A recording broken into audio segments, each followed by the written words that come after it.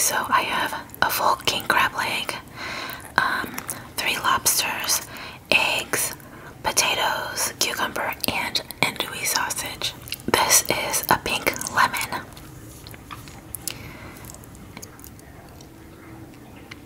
I'll be adding this on top. I do have a video on how I cook up the sauce, so I'll link that down below.